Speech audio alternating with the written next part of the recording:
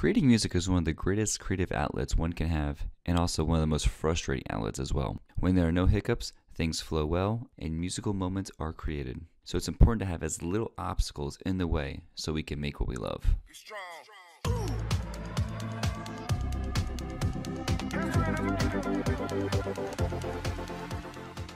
Hi, I'm Mark from Modern Music University. In this channel, I give tips and tutorials all on music production. Alright, so let's talk about one of the biggest frictions you can have when creating music, and that's latency. Latency is something that all DAWs have, but online uh, digital workstations tend to have it a little bit more because they're working from the cloud.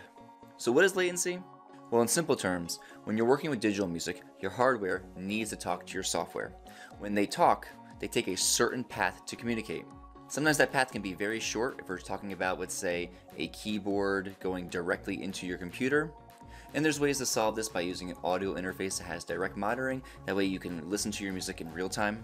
However, when you're working with an online platform, that path is going to be much further because you're working with the cloud, and the latency is going to be much more of a problem. If I was to push a button on my MIDI keyboard right now, latency would be the time that it takes for me to push the button to the time that I actually hear it from my speakers. Latency can be one of the biggest frictions you can have when making music.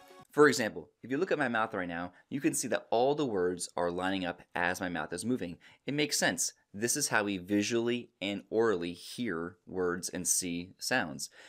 However, if I just delay my voice a tiny bit, just like this, you can now see that your brain is trying to process what's going on. You're not really enjoying the experience of listening and watching. And this is how it works with music. It kind of looks like one of those old Godzilla movies right now. Godzilla is still alive. The other monster the ancient people said would appear. Must be Godzilla. So we need to combat latency and make sure that our physical playing is lining up with our oral listening. That way our brain can process the sounds as we're playing it. Now every DAW has its own way of dealing with latency, so let's dive into BandLabs and see how to fix it. So right now I'm trying to create a new song, and right now I just kind of laid down a simple bass drum beat uh, with the bass drum just playing on quarter notes here. Nothing fancy, just kind of get the beat going. So the hard part here now is if I want to try and play with that bass drum using my MIDI keyboard, well, go ahead and check out what's about to happen.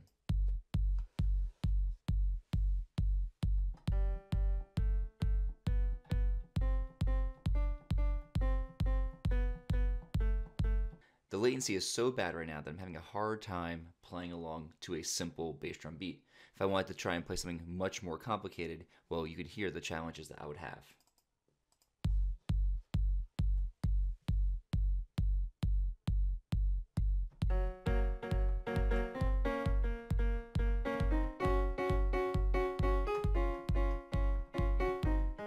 Yeah, I can't even really do it because the problem is so bad that it, it's almost impossible to do it right now.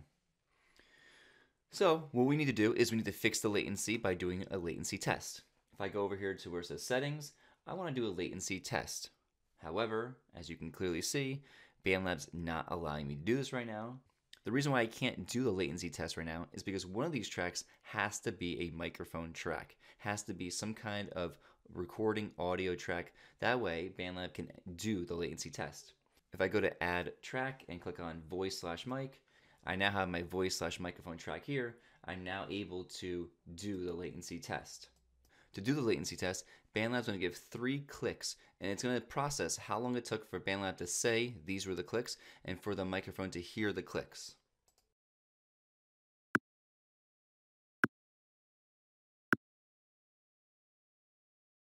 One hundred and twenty-one milliseconds is an eternity when playing piano or any kind of instrument. It feels like forever.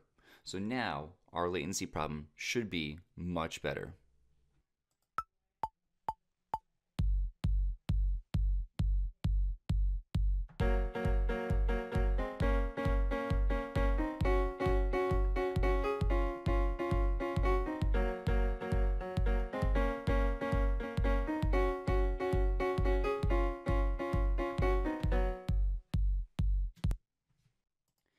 Easily fix this by going into the MIDI editor, highlighting all of these sounds, and clicking the quantize button. Now it should sound perfect.